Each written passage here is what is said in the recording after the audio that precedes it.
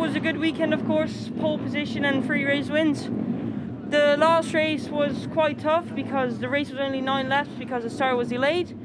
And then I started to push already in the beginning because I was in front and I thought, yeah, maybe I can break away. But all the time they followed me, followed me, then they overtook me a couple times.